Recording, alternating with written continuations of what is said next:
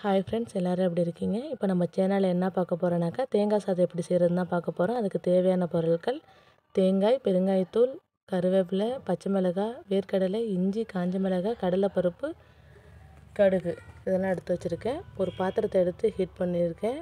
Heat ஆனதுக்கப்புறம் நான் ரெண்டு ஸ்பூன் ஆயில் சேர்த்துருக்கேன். ஒரு ஸ்பூன் நெய் சேர்த்துருக்கேன்.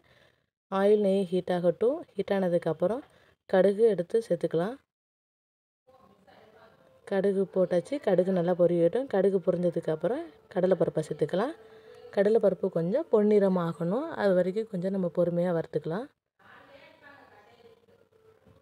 பொன்னிறமாக ஆனதுக்கப்புறம் நம்ம எடுத்து வச்சுருக்க பொருட்களெல்லாம் நம்ம ஒன்று ஒன்றா சேர்த்துக்கலாம். துருவி வச்சுருக்க இஞ்சி அதை சேர்த்துருக்கேன்.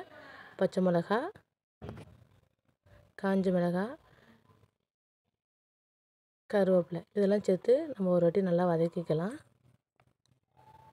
நல்லா வதங்கினதுக்கப்புறம் நான் எடுத்து வச்சுருக்க வேர்க்கடலை நான் ஆல்ரெடி வறுத்தது வேர்க்கடலை தான் வச்சுருக்கேன். அதை தான் இப்போ சேர்த்துருக்கேன். அதையும் சேர்த்து ஒரு வாட்டி நம்ம ஒரு வதக்கி வதக்கிக்கலாம். இது வதங்கினதுக்கப்புறம் நம்ம பெருங்காயத்தூள் சேர்த்துக்கலாம். நம்ம இதோட பெருங்காயத்தூள் சேர்த்தோன்னாக்கா ஜீரணமும் ஆகும் நல்லா வாசமாகவும் இருக்கும் தேங்காய் சாதம். அதோட சேர்த்துக்கலாம். உங்கள்கிட்ட முந்திரி இருந்தாலும் நீங்கள் கடலை பருப்பு போடுறப்ப முந்திரி பருப்பு சேர்த்துக்கலாம். அதுவும் நல்லாயிருக்கும்.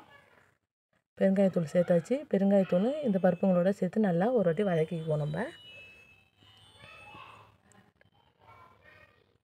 பெருங்காயத்தூள் சேர்த்து வதக்கினதுக்கப்புறம் நான் அரை மூடி தேங்காய் எடுத்து துருவி வச்சுருக்கேன். அந்த தேங்காயை இதோட சேர்த்து நான் ஒரு வாட்டி நல்லா வதக்கிக்கிறேன்.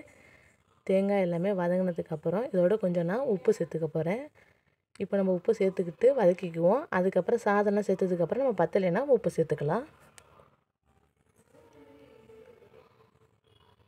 இப்போ தேங்காய் வதக்கினதுக்கப்புறம் நான் இப்போ உப்பு சேர்த்துருக்கேன். உப்பு சேர்த்து ஒரு வாட்டி நம்ம நல்லா வதக்கிக்கலாம். நல்லா வதங்கட்டும். நல்லா வதங்கிடுச்சு. நான் ஆல்ரெடி சாதம் வடித்து ரெடியாக வச்சுருக்கேன். அது கொஞ்சம் உதிரி உதிரியாக எடுத்து வச்சுருக்கேன். அதே மாதிரி எடுத்து வச்சுக்கோங்க நீங்களும். இப்போ கலந்த கலவையோடு நம்ம அதை சேர்த்துக்கலாம்.